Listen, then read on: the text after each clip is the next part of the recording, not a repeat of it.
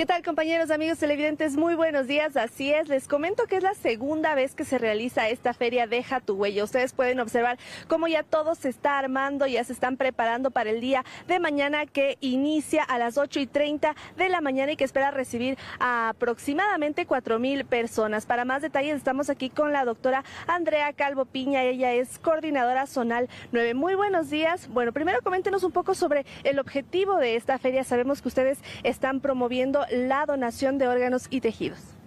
Muchas gracias, muy buenos días también a los televidentes que están en este momento sintonizando. Claro, el objetivo de esta feria es precisamente dar la sensibilización a toda la población que em, conozca sobre cómo es el procedimiento y la importancia de la donación de órganos, células y tejidos, cómo esto puede impactar de manera positiva en los individuos y no solo en ellos, sino en su familia, en la comunidad, en quienes los rodean. Como ustedes saben, tenemos al INDOT que es la institución que se encarga ¿no? del, tema de, donación de tejidos, órganos y células, que está adscrita al Ministerio de Salud Pública. Ellos son quienes controlan, vigilan y regulan todo este tipo de temas. Háblenos un poco por qué es bueno donar órganos.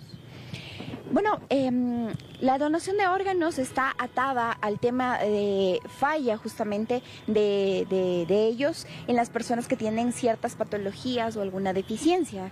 El objetivo o la importancia de poder hacerlo es precisamente, como lo comentaba antes, mejorar el estilo de vida o poder salvar en sí la vida de la persona, ¿no?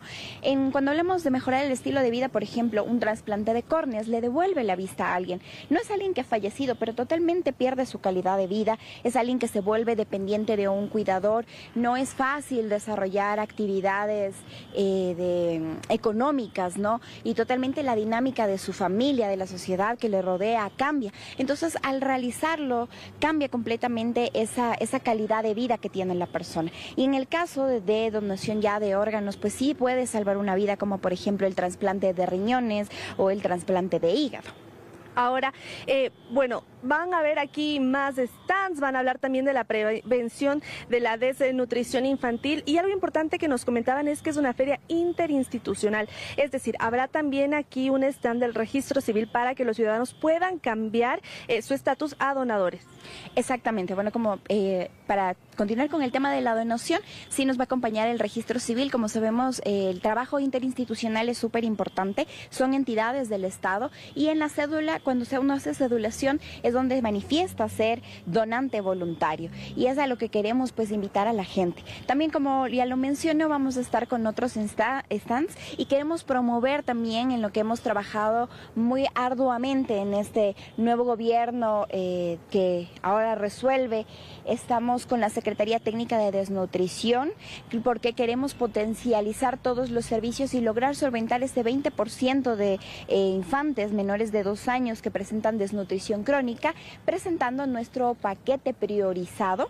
Y eh, todo lo que estos servicios comprenden. Además, también vamos a estar con instituciones educativas y algunos otros servicios y, por supuesto, los hospitales que tienen eh, la certificación para realizar donación de órganos. Listo, muchísimas gracias. Ya vemos aquí también están las chicas que nos van a hablar sobre la, la prevención de la desnutrición infantil. Habrá muchas charlas, muchos tips y recuerde que esto se llevará a cabo en el eh, estacionamiento del centro comercial comercial Desde las 8.30 hasta las 2 de la tarde este día sábado. Esperemos que se logre eh, eh, concienciar a estas 4.000 personas que se espere que visiten este sábado. Es la información que tenemos. Volvemos con ustedes, estudios. Muy buenos días. Buenos días, Nati.